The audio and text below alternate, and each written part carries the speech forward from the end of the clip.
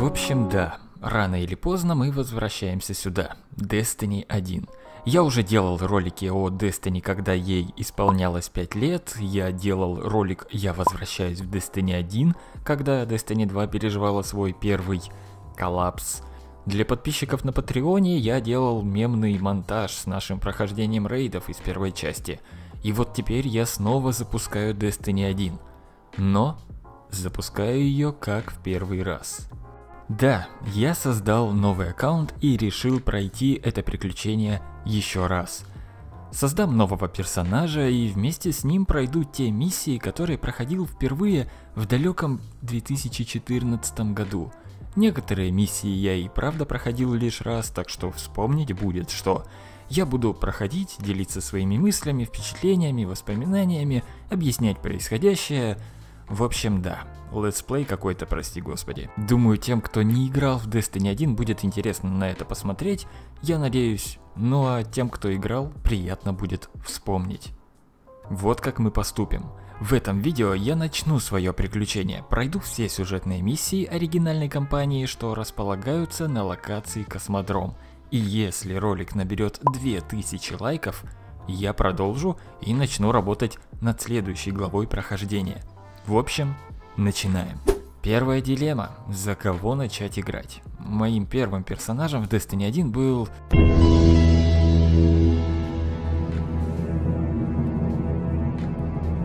Титан.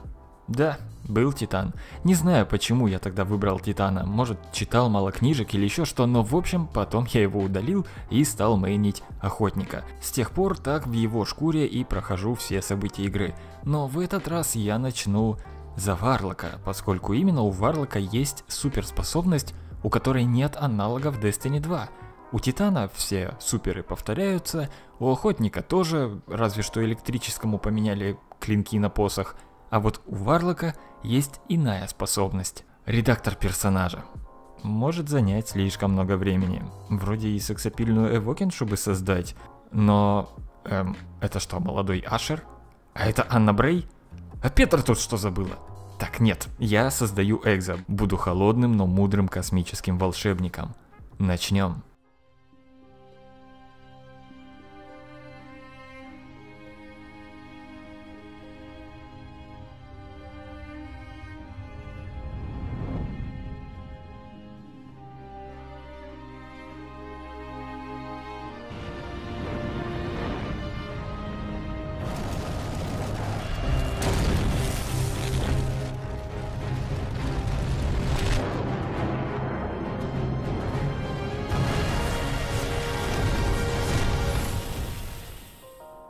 Итак, начинается Destiny синематика без стражей, но со странником. Нам показывают экспедицию на Марс, которая впервые столкнулась со странником так близко. Примечательно, что на финальных кадрах сцены идет дождь, что являлось символом терраформации Красной планеты под условия пригодные для жизни, о чем человечество так давно грезит. Что ж, если вы играете в Destiny 2 с бесплатной версией «Новый свет», то вы в каком-то смысле видели начало нашей истории – Эту миссию полностью перенесли для новых игроков во вторую часть. Призрак находит останки на космодроме в Старой России и воскрешает нашего стража после многих лет. There you are. Eyes up, Guardian. It. You're alive. You don't know how long I've been looking for you. I'm a ghost. Actually, now I'm your ghost, and you? Well, you've been dead a long time. Лично я не могу не вспомнить, как тут на самом деле звучал голос, который приветствовал меня в игре впервые. Guardian. Eyes up, Guardian. It worked. You're alive.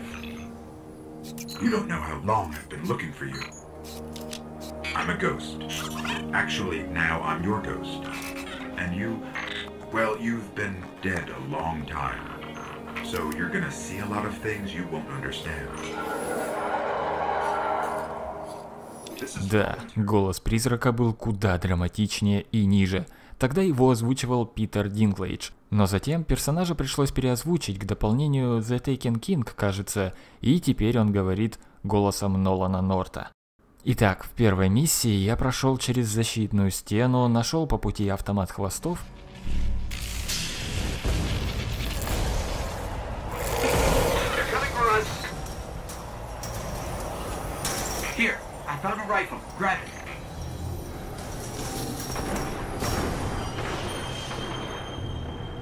I hope you know how to use that thing.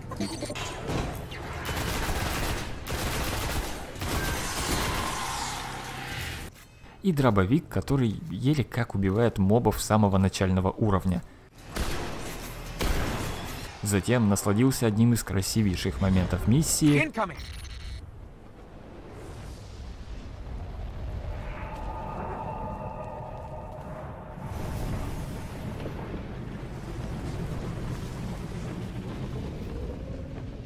И получив свой первый level-up, я прослезился, вспомнив то, каким широким было древо прокачки персонажа.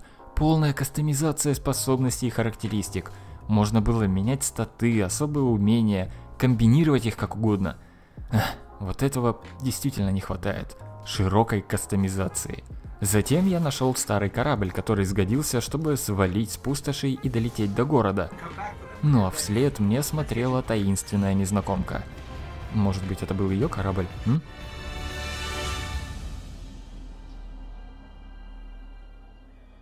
Долетев до башни, я пообщался с представителем авангарда.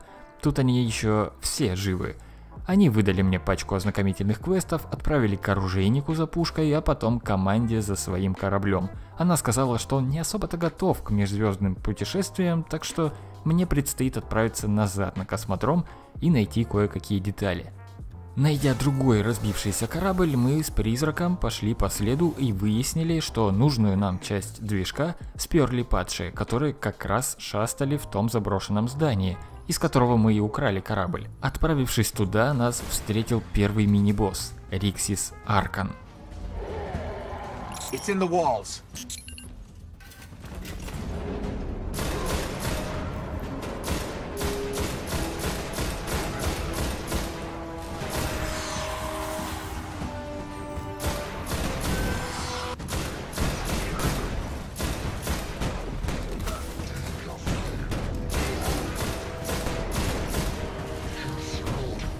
Правде говоря, я уж и забыл, насколько сложным может оказаться бой с обычным желтым мини-боссом, когда все, что у тебя есть, это граната и пара белых пушек с так себе уроном.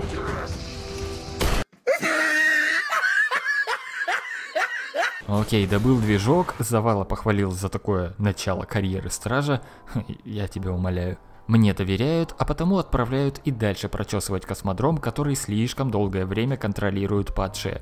В одном из комплексов я натыкаюсь на дверь, которую падшие закрыли уж очень-то старательно.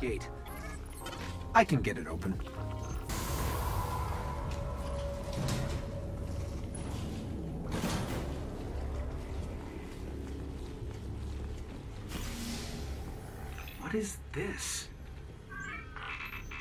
Lots of motion ahead. I've got a bad feeling about this. I got a bad feeling about this.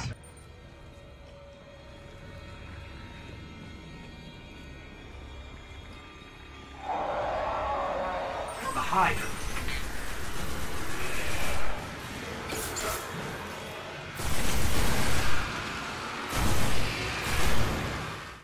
Да, такой стала моя первая встреча с Ульем и одним из любимейших музыкальных треков из первой части.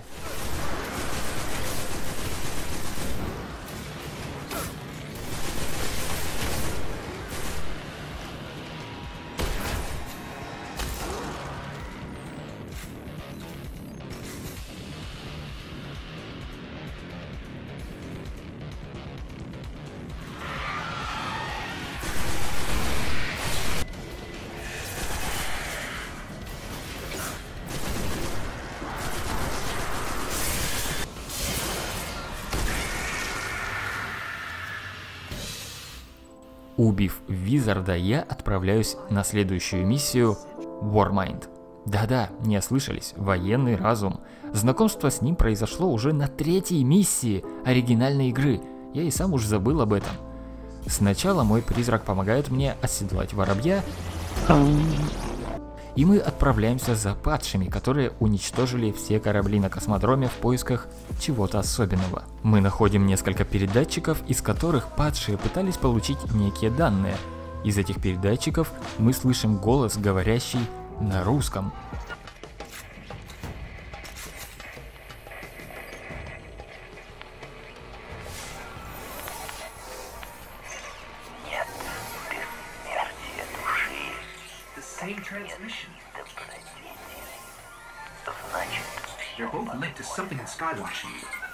Out. что, конечно, на релизе игры производило впечатление и привлекло много внимания в русском комьюнити. Игра полностью на английском, откуда тут русская речь? Голос цитирует Достоевского. Слова Дмитрия Карамазова из романа «Братьев Карамазовы». Это одна из самых популярных цитат из творчества Достоевского. Первой части вообще мы еще не раз можем найти отсылки к русской литературе. Например, к Анне Карениной в одной из карт гримуара все про того же Распутина. Эх, я до сих пор считаю, что то, как был Распутин представлен в оригинальной игре, окутывало его такой тайной, которую просто не терпелось разгадать. Мы постоянно шастали вокруг этих бункеров, что-то пытались найти. И вот теперь, спустя пять лет, во второй части мы ему разве что ручку не жмем. Ну да ладно, отвлеклись. Следуя за радиосигналами, мы находим еще один терминал, из которого падшие пытались добыть некие секретные данные, однако что-то или кто-то дал им отпор. Мой призрак сказал мне, что мы должны оказаться там и выяснить, что произошло. И вот этот момент миссии оказался одним из самых сложных. Отбиваться от волн мобов, пока призрак сканирует неизвестный терминал, было непростой задачей. Справился я не с первого раза.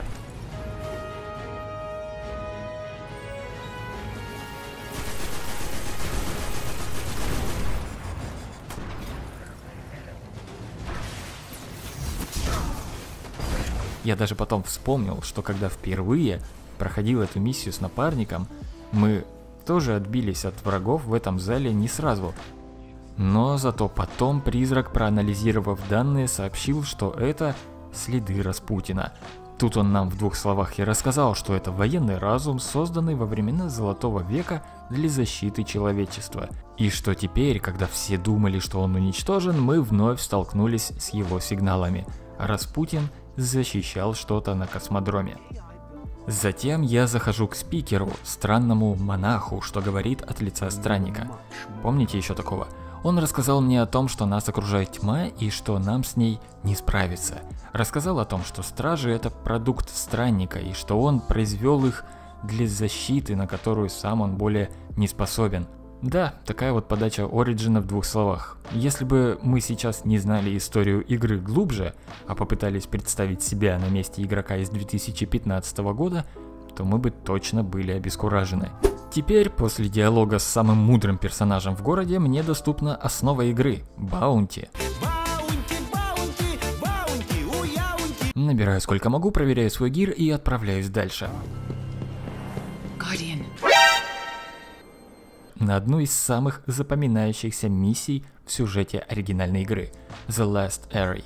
Нам нужно раздобыть и активировать коды от спрятанной огромной антенны, что нам позволит связаться с другими колониями.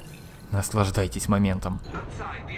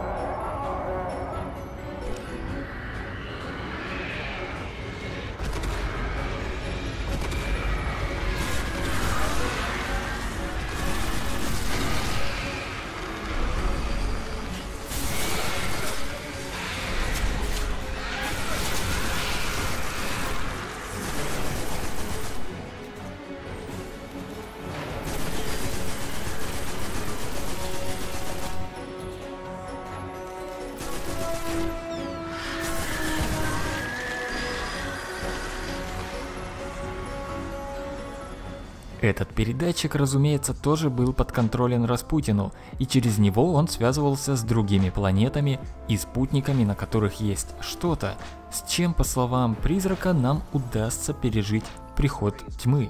Знаете, слушая эти диалоги, типа «О, Распутин, я думал, он уничтожен», и «О, Распутин, он связывается с какими-то местами, которые помогут нам пережить тьму», Блин, это звучит так, как будто это реплики из миссии сезона Величия в Destiny 2. Хотя этим диалогам уже 6 лет почти, come on. Тьма все окружает и окружает, а Распутин все держится где-то в заперти. Ну ладно. Последним заданием на Земле для нас станет страйк Devils' Lair. Завала снаряжает нас новым тяжелым вооружением и отправляет на битву с Сепикс Праймом, огромным прислужником Дома Дьяволов. Я уже говорил как раз по-моему в видео к пятилетке Destiny, что этот страйк один из моих любимейших в игре, и я с нетерпением отправляюсь туда. Задание было командным, но напарников игра утром мне так и не нашла. Потому я отправился туда один, и я немного не рассчитал со сложностью задания. Черт.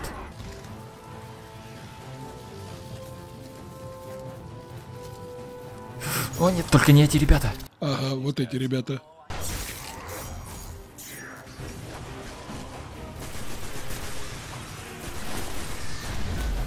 О, level up. Халявная ульта как нельзя вовремя.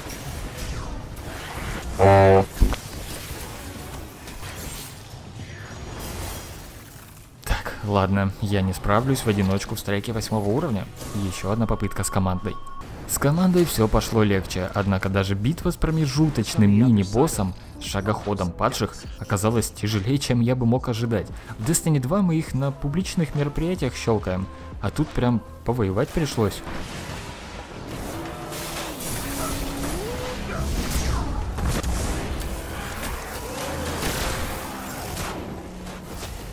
Вообще это все все равно, что сумрачный налет на мастере проходить. Пришлось прятаться постоянно и играть осторожно. Ну а затем мы дошли до финального босса, Сепикса Прайма, который запомнился стражем своей музыкальной темой.